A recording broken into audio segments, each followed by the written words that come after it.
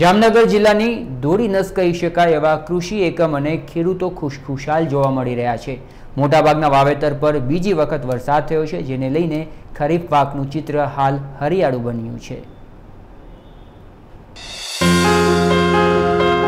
જામનગરમાં પ્રથમ વરસાદ સારો થતાં જ મોટાભાગના ખેતીલાયક વિસ્તારમાં ખરીફ વાવેતર થઈ ગયું છે.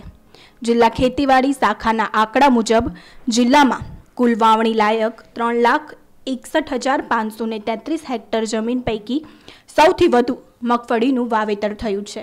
અને આ અગાઉ અંદાજો વ્યક્ત કરાયો હતો એ જ પ્રમાણે મગફળીનું વાવેતર બે લાખ હેક્ટરથી વધી ગયું છે.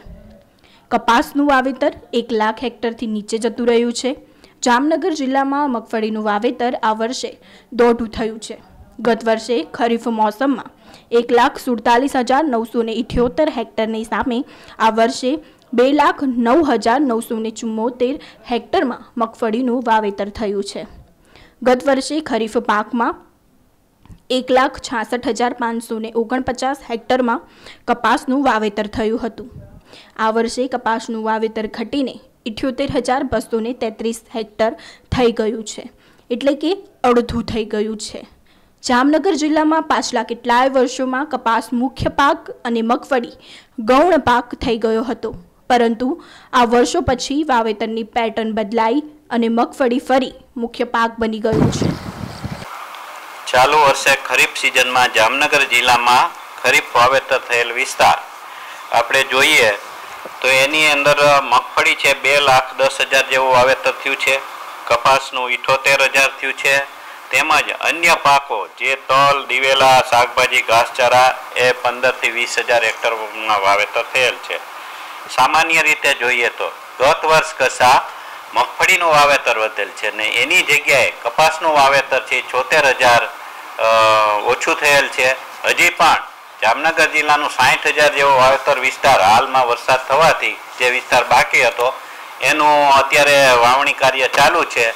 એ આવતા વર્ષે, આવતા વીકમાં લગભગ પૂર્ણ થઈ જશે. એટલે અમારો જે કંઈ વાવેતર ત્રણ લાખ સાઠ હજાર વાવેતર વિસ્તાર જામનગરનો છે, એનું વાવણી કાર્ય પૂરું થશે અને પાક પરિસ્થિતિ જોઈએ તો અત્યારે સારી છે, વરસાદ પણ હમણાં સારો થઈ ગયો છે.